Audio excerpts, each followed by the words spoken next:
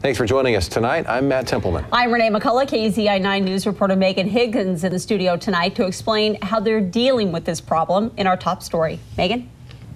Well, Matt and Renee, the bugs were found in chairs on the third and second floors of the library. Staff took quick action, though, calling in a professional cleaning crew to deal with the pests. And now they're keeping a close eye on the situation to make sure they don't come back.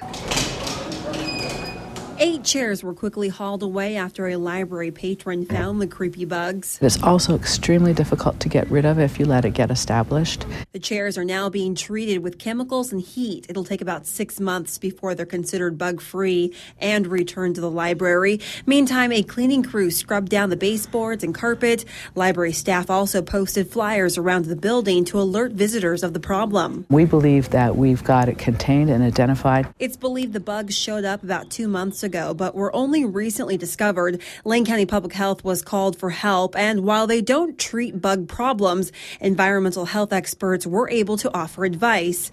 They say the bugs may be creepy, but they can't hurt you. We do not consider them a disease carrier.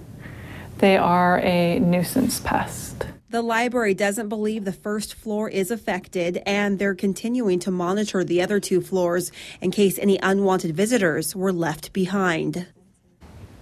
Now, Connie Bennett says the library would have closed if they felt it was needed. Now, tomorrow night, a group of specially trained beagles from Portland will do a sweep of the building from top to bottom looking for any remaining bugs. In the studio, Megan Higgins, KEZI 9 News.